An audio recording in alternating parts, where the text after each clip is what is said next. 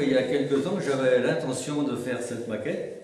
Et pour ce faire, ben, il a fallu que je trouve le, propriétaire du site. J'ai été le trouver, il m'a reçu très gentiment. Et il m'a donné un peu quelques, explications, c'est-à-dire que le, donjon qui se trouve là est carré. Après qu'il ait fait quelques fouilles, c'est là qu'il a trouvé que le donjon était carré. Ensuite, il a trouvé la, la herse qui se trouve derrière le pont-levis. Alors donc le pont-levis se trouvait à cet endroit. Et ben, à partir de ces données, bon, ben, j'ai imaginé pour faire cette maquette.